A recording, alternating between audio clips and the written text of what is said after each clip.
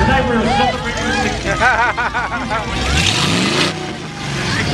than any other time in our history. Tonight we're going to be playing songs from 1961 all the way to 1969. Let's all get on that bus, folks. Take a trip back to that magical time. Let's go.